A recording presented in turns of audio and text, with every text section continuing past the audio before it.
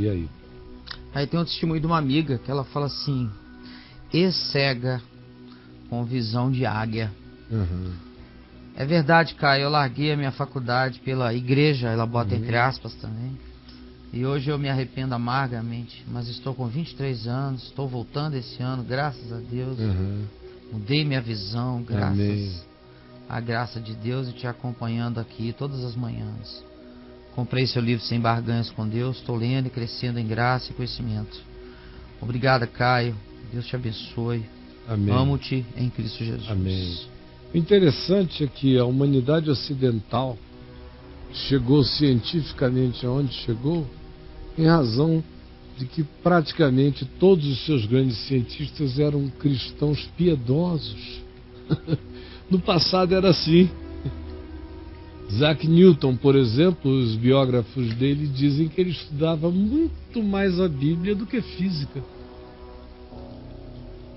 Blaise Pascal estudava muito mais a escritura do que qualquer outro interesse científico ou filosófico que ele pudesse ter, de qualquer natureza. Copérnico, mesma coisa. Pode ir olhando. Galileu Galilei, o grande Miguel Ângelo, que faz parte de uma outra dimensão de ciência, de arte com matemática, física, estética, com tantas complexidades para praticar o tipo de arte que ele praticava, que a gente tem que incluir aquele artista entre os cientistas também. É um Da Vinci de fazimentos mais concretos, o Miguel Ângelo, mais práticos. Apaixonado pela escritura. A confissão dele é salvos pela graça de Cristo. E a gente pode sair andando pela história. Os grandes pensadores que foram perseguidos pela igreja ocidental, a maioria deles eram cristãos comprometidos com o evangelho e não compreendidos pela religião. E assim vai. Tem apenas desde o surgimento do fanatismo pentecostal tomando conta da igreja nos Estados Unidos da América e de lá exportando a mediocridade e a burrice evangélica para o resto da, do planeta, foi que isso começou. Não tem tanto tempo assim. Até há um século atrás, os maiores expoentes pensadores do planeta eram homens profundamente espirituais, porque eles não pensavam nisso com essas categorias duais. Foi nos Estados Unidos, especialmente com a divisão entre criacionismo e evolucionismo, essa idiotice, foi que a esquizofrenia se estabeleceu. Tanto é que na Inglaterra não pegou. Na Inglaterra isso não é uma discussão entre criação e evolução.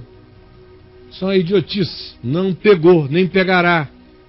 Só em cabeça americana ou em colonizados pela mediocridade do pensamento evangélico pentecostal americano é que podem ficar com essa paranoia de criação e evolução. Não. Todos nós sabemos que Deus criou todas as coisas. Todos nós lemos na Escritura que aparentemente a única criação manufaturada de Deus, segundo a Escritura, foi o homem. As demais surgiram do produza.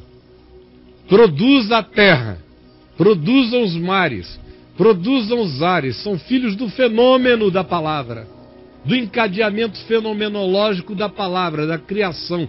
Produz é tempo, é processo, é era. Produza é natureza. No meio do processo natural há essa manifestação particularizadamente manufaturada. Façamos o homem. Então, nesse sentido, nós somos natureza e somos um fenômeno a mais. Somos um fenômeno de instilamento de uma consciência superior.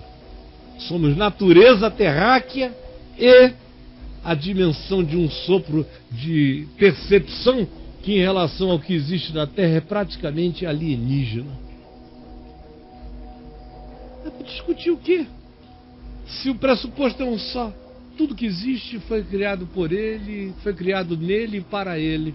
Então, como foi o processo, sinceramente, eu quero saber é que obra está acontecendo de Deus em mim. Se em mim ele disse: Desperta, tu que dormes, e eu me levantei. Se ele disse: De trevas resplandeça a luz, e eu me iluminei.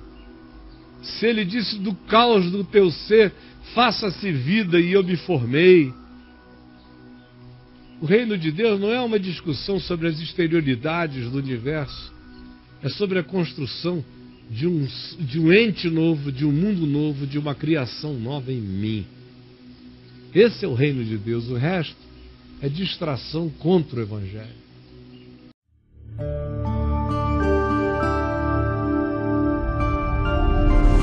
VNVTV, o canal é você.